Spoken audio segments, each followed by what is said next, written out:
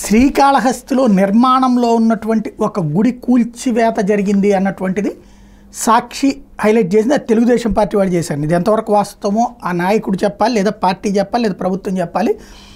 తిరుపతి జిల్లా శ్రీకాళహస్తి పట్టణంలోని కుందేటి వారి వీధి ఎస్టీ కాలనీలో నిర్మాణంలో ఉన్న గంగమ్మ గుడిని శనివారం రాత్రి తెలుగుదేశం నేత వెంకటేష్ ఎట్టి కూల్చేశారు. ఆలయం రెండు అడుగులు తన స్థలంలోకి వచ్చిందని ఆలయం మొత్తాన్ని జేసీబీతో కూల్చేయడమే కాక అడ్డుకున్న కాలనీ వాసులు బెదిరించారు. కాలనీలో నివసిస్తున్న యానాదులో పాత గంగమ్మ గుడిని తొలగించి నాలుగు నెలల కిందట ఆరు అడుగుల స్థలంలో కొత్త ఆలయం నిర్మాణం చేపట్టారు.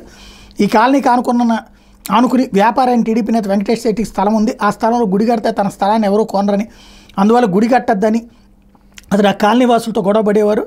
శనివారం మండల సర్వేయర్ హరి సర్వే చేసి కడుతున్న ఆలయం వ్యాపారి స్థలంలో రెండు అడుగుల మేర ఉందని మార్క్ చేశారు. ఆ రెండు అడుగుల స్థలానికి డబ్బు ఇస్తామని లేదంటే సమయం ఇస్తే ఆ మేర ఆలయం తొలగిస్తామని కాలనీ వాసులు విజ్ఞప్తి చేస్తే ఈలోపు కూల్చేశారు అన్నటువంటి వార్తని హైలైట్ చేసింది.